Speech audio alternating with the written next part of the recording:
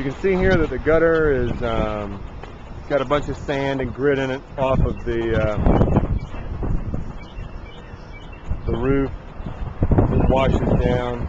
Also, uh, since the last repair during the tropical storm, there's some additional shingle damage that's shown up. We got two tabs missing over here.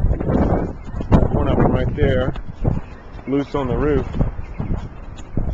Um, and then another tab right here between the um. Another piece there, another one over there. So they uh, continue to age.